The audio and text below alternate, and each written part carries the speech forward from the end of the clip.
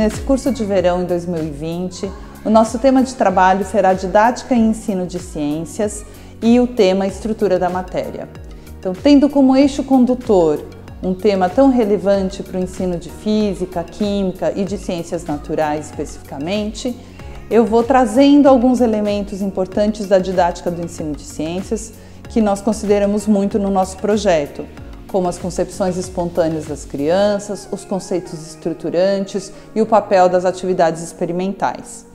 Então, a partir de atividades práticas, leituras e discussões, nós vamos explorar esse tema e conhecer como a gente pode selecionar os melhores conteúdos e atividades a fim de promover maior aprendizagem de nossos alunos sobre esse tema.